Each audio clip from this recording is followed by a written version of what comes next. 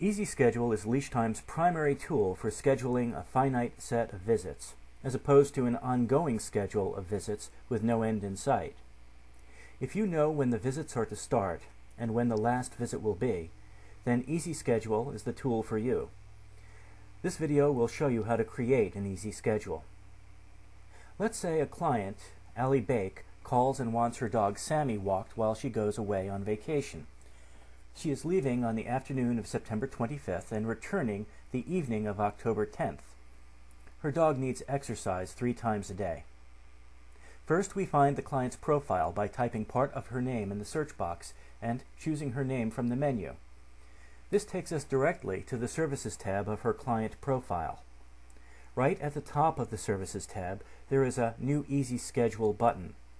We click on it to create a new schedule.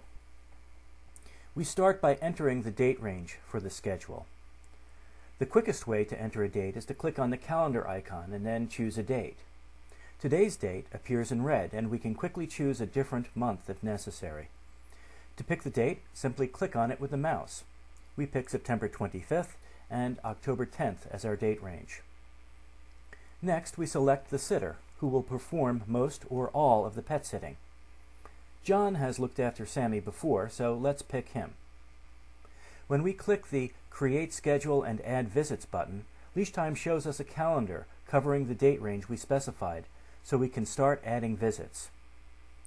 Sammy will need three walks a day and will need to be fed morning and evening. But Sammy won't need a morning or afternoon walk on the first day, or an evening walk on the last day. But to keep things simple, we'll start by making every day the same, and then just trim back services on the first and last days. First, the morning walk. We click on the plus sign button on the first day and set the time of the day for the visit. Clicking on the box opens the time of day dialog. We could set a custom start and end time here, but it's much quicker to pick one of the standard time windows, which you can set up elsewhere in LeashTime. We pick the service next dog walk. John is pre-selected as the sitter, but we could pick another sitter if we liked. We can leave the pets field as it is in this case, or we can name Sammy as the lucky dog to be walked.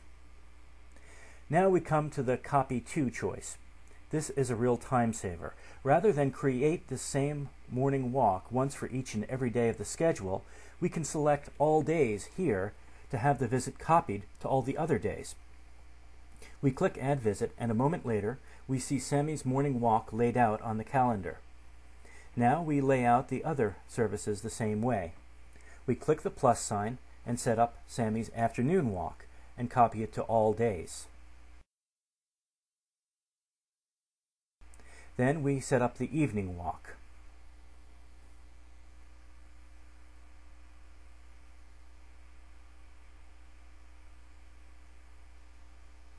Sammy needs to eat while Allie is away, so we set up the feeding schedule. In the morning first.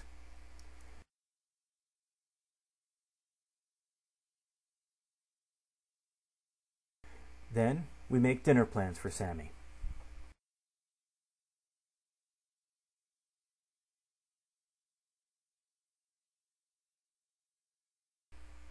So we now have a full schedule set up for Sammy. Remember, though, he needs service only in the evening of the first day and not in the evening of the last day. So let's trim those days. You will notice that there are two X's on each visit. The red X cancels a visit but does not delete it. The black X makes it go away entirely. So we delete the morning and afternoon visits on day one.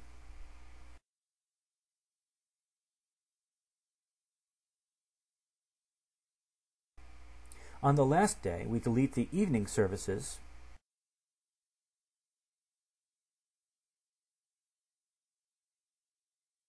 and we are done, or almost done.